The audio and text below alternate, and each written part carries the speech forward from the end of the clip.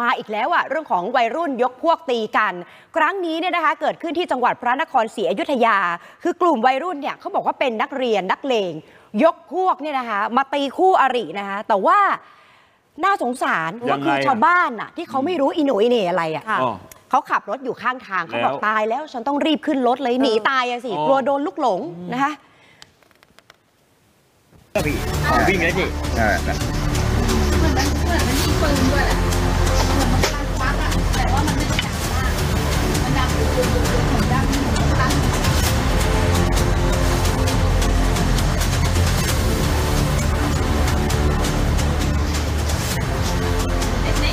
คนที่ยืนยืนรอรถก็โอ้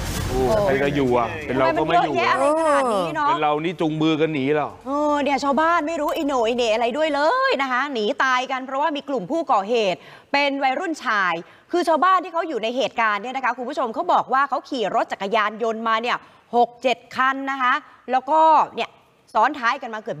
20 คนเนี่ยนะคะโอ้โหมากันเยอะนะคะ เพียบเลยเนี่ยแต่ว่ากลุ่มที่ก่อเหตุเนี่ยคือเราก็จะแยกไม่ยากนะเพราะว่าจะใส่หมวกกันน็อก เนี่ยนะปิดบังใบหน้ากันทุกคนเลย ก็มาจอดริมถนนภายในท่ารถเจ้าพรม ก่อนที่จะพากันวิ่งข้ามถนนมาฝั่งอีกฝั่งหนึ่งพยายามจะทำร้าย วัยรุ่นสองคนที่เขายืนรอรถอยู่ คาดว่าก็น่าจะเป็นคู่อริต่างสถาบันนั่นแหละ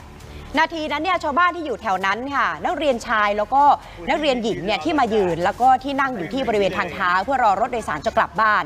ช่วงหลังเลิกเรียนเขาก็ตกใจกันหมดเลย รีบวิ่งหนีโอลหมานตามที่ปรากฏอย่างที่เราเห็นในคลิปนี่แหละค่ะอ๋อตรงนี้มันท่ารถใช่ไหมท่ารถเขาก็มารอรถ แล้วเผอิญว่าทางอลีก็คงจะมารอตรงท่ารถเหมือนกันใช่โอ้เป็นมาผู้คนก็เยอะแยะเต็มไปหมดเลย ชาวบ้านบอกกลุ่มผู้ก่อเหตุเหมือนพกมาหลายอย่าง ผมดูที่พยายามจะเอาเหน็บเข้าเอวน่ะเมื่อสักครู่เนี้ยมีดที่ชัดๆเนี่ยน่าจะมีมีดใช่มีแล้วก็มีมามีไม้แต่เหมือนกับมีคนหนึงพยายามจะเอาอะไรออกมาจากกระเป๋าสะพาย คือไม่มั่นใจเลย ไม่อยากให้จะเป็นปืนอะ คือทางชาวบ้านก็บอกว่าไม่แน่ใจอาจจะเป็นปืนก็ได้ไหมแต่ไม่เห็นเพราะว่าวิ่งหนีมาก่อนวัยรุ่นที่ถูกทำร้ายมากันสองคนอายุนักสิบห้าสิบหกเองวิ่งเข้าไปซ่อนตัวในบ้านชาวบ้านก็เลยไม่ได้เป็นอะไร แต่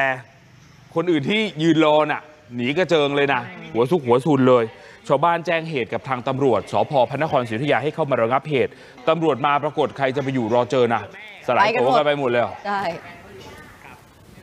เด็กคนที่วิ่งบอกผมไม่รู้จะหนีไปไหน หนูว่ากลัวลูกหนูโดนลูกหลงแม่อืมตัวเล็กนะไอ้ตัวเล็กอะแล้วก็มันคว้างไปมันโดนลูกหนูทำไงอะครับ ลูกหนูเป็นอะไรขึ้นมาอืมไม่ยอมหรอกคือหลังจากนี้เนี่ยตำรวจก็จะออกตรวจตามจุดเสี่ยงนะคะที่มีนักเรียนไปรวมกลุ่มกันจำนวนมาก โดยเฉพาะบริเวณนี้แหละบริเวณท่ารถเจ้าพรมที่เพิ่งเกิดเหตุไป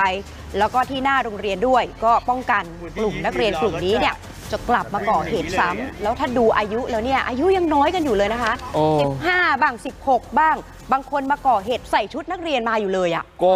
ถ้าแมนแมนๆเราคนกล้าๆก็ก็ถอดหมวกกันน็อกสินี่ไอตัวเออลุยไอตัวลุยก็ยังสวมหมวกกันน็อกไปอยู่เลยกลัวเขาจำหน้าได้นะเออ ทำจาก HD TV เพื่อคุณ